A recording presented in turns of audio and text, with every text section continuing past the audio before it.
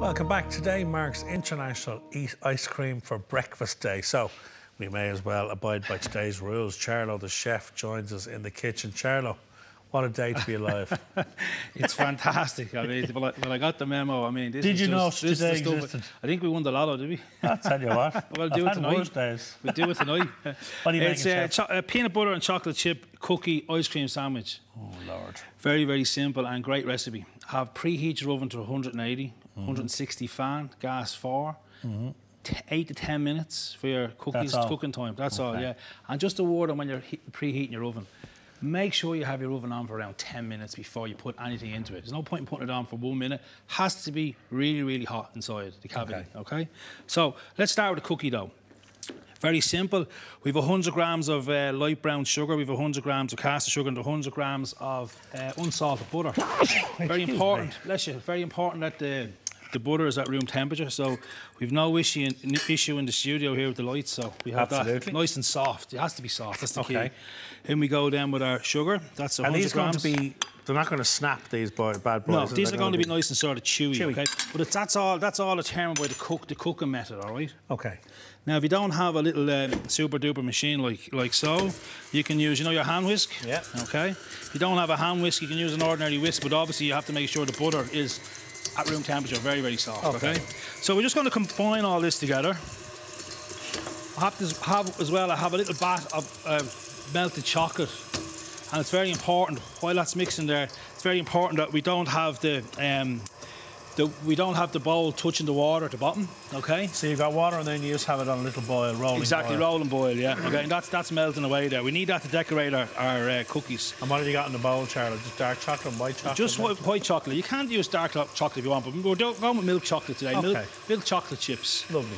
Okay, so now that's combined, as you can see. So we're just going to turn it up. Now we're going to crack an egg in here. A Little tip when you're doing your egg is always crack it into a little bowl first, so you can see if there's any shell there. Ah, you Okay, what. so you can take your shell out, but we, Top we, we, tips. we've, we've done perfect. This is the perfect egg. Huh? Of course it is. It's all going right for us today now so far. So far, so good, yeah. So we just gently combine your egg. And how many will this mix? What will this? You're going to yield about recipe- 12. 12. 12. So okay. making a sandwich, will make six sandwiches. Lovely. Make six sandwiches. Is that okay for you? Perfect, yeah. Sounds good. Now, in we go with some uh, flour. So 150 gram of um, self-raising flour. Okay. A little bit of salt, a little bit of pinch of salt. And you know, people that say, why are you putting the salt in? It's just that chemical reaction the salt gives to a product and it just gives a little bit of a lift. And Um, flavour. And flavour. Okay, so now you should you should your mix should resemble a nice sort of pasty. Um, it shouldn't be too wet. We're just going to slow that down. And now we're going to add in, we're going to spike in two tablespoons of co- two tablespoons of cocoa powder. Lovely.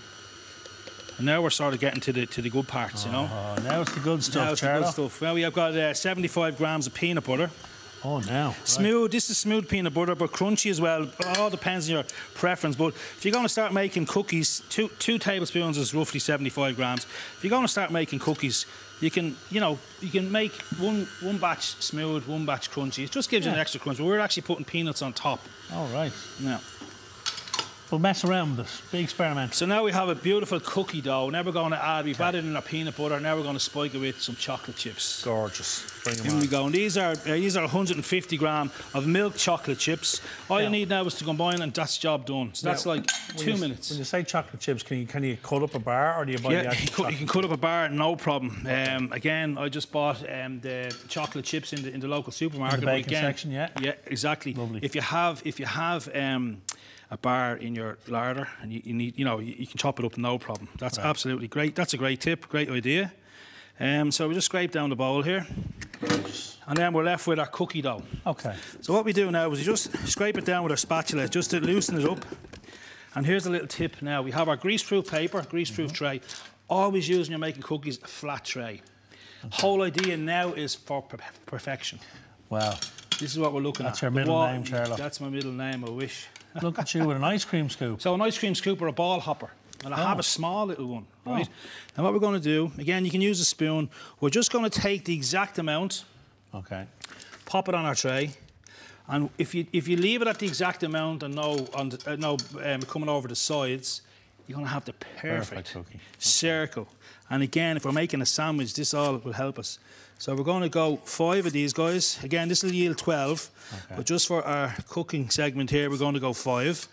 And what we're going to do, we're going to pop on top then a few more little of the chocolate chips. And you're leaving a good bit of space between them, Charlie, because they are going to spread. Ex- exactly, exactly. And then what we do is just going to pop on top a little few because you'll see when I take the, pop the ones out of the oven, you'll see what I mean when we do this. So we're going to just pop a few of the chocolate chips. Now you know what's great here? Mm-hmm. A Twix bar chopped up, a Mars bar, Snickers bar. This Oh, Crunchy. is crunchy. Bit of honeycomb. And this is when you pop, you can pop them on. So use your imagination, Oh, folks. Preheated oven, 10 minutes. Make sure your oven's 10 minutes on. You're popping in. So for 180 here. Each oven is different. So 180. Now here's the thing. After eight to 10 minutes, if you take them out after eight minutes, they're going to look as if they're underdone. Let them cool on a wire rack, and that they're going to be really, really fudgy. If you like to bring them on a little bit more, and a little bit of a bite in them, leave them in for 10 minutes. And if you like to, these ones are prepared earlier, and I have them li- cooling down in the oven's not on there, okay? But if you want to have them a little bit more crunchier, bring them on for 12 minutes. Right, very good. So- uh, you're dead right. Look, they're all identical. Perfect. All cookies. identical, perfect shape. So that's that lad to us when, we're- when we're doing our sandwich. Now what we're going to do with our, we bring in our little chocolate, our melted chocolate over our bain. And we're just going to drizzle then, okay? You just drizzle your, your, your cookies with some chocolate. And what I'm going to do next as well is, and this is where you get the kids involved. Yeah. Okay. Get creative. You've all, you've all been there. Have a few salted peanuts.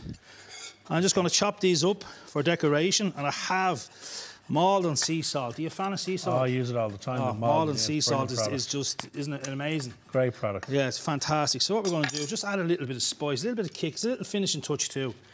So just going to add a little few crunchy Look, peanuts to the top. You let that set. You let that set. I have a bit of Maldon. I don't overdo the Maldon, but this is just really gives it a little bit of a background we have flavour. a minute left, chef. Yeah, a minute left. Background flavour. Okay, so I'm going to use these ones here, these four here. Salted caramel, and I have um, I've salted the caramel, and I have Vanilla. vanilla ice cream. We'll just get it. So Simon, I'm going to give you a salted caramel. Oh, all right then, Charlo. Okay. Go on then. Yeah, yeah. I'm going to give you a salted caramel. So again, turn your turn your cold um, cookies upside down. You're going to go on the flat side. You're being very generous there. Okay, Charlo. and we're going to go down with some. Uh, for Elaine, we're going to give Elaine some vanilla. Beautiful. Look at that. Okay, now here's the thing. Here's a little secret. Yeah. I've crushed Did I hear my name? Bourbon creams, pink wafers, and ginger nuts. Simply top and press down. Uh, and you're going to roll it, are you? Oh, Okay, which is your preference, Simon? I'll go for the chocolate, the bourbon. Bourbon. So we're going to roll it in bourbon. My word. Voila. Oh, and then Charlotte. Elaine, Okay, we're going to get some, what's my some option? vanilla. Well, I've got pink. Pink is pi- pink for yourself. Pink wafers. Is that okay? What? I, Oh, I'm yeah. not fussy at all. It all looks Look good this. to me. Look at that. Look at that. And that's our that's our breakfast sandwich today. The healthier International. breakfast you couldn't have Eat in the ice morning. cream for breakfast day. Charlo, fantastic recipe as always, brother. Thanks a million, folks. Well Thanks, done. Charlo. Right, full recipe details are, of course, up the website, or you can check out charlothechef.com for more from the man himself. Up next, a man who could probably only eat ice cream for the first time in years after announcing his retirement from diving this week, Olympian Oliver Dingley. Are You there, Ollie? He's here. Yeah. Great. See you in a minute.